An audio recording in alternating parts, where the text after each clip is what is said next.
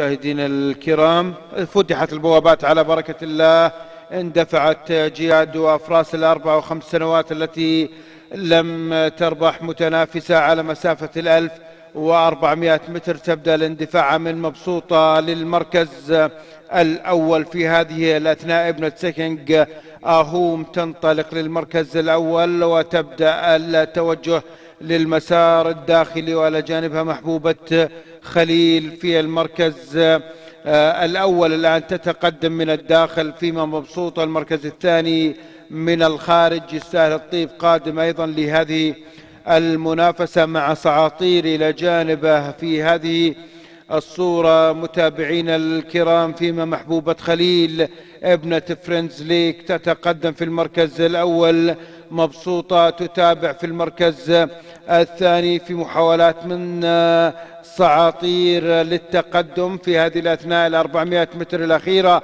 سعاطير تتقدم من المسار الخارجي تتقدم سعاطير في منافسة قوية في إثارة كبيرة ما بين محبوبة خليل وسعاطير سعاطير تتقدم للمركز الأول بكل قوة في محاولات قادمة من مستجارة أيضا في منافسة قوية. سعاطير مستجارة مستجارة من المسار الخارجي على خط النهاية. سعاطير على ما يبدو حسمت هذا الصراع وحسمت هذه المنافسة.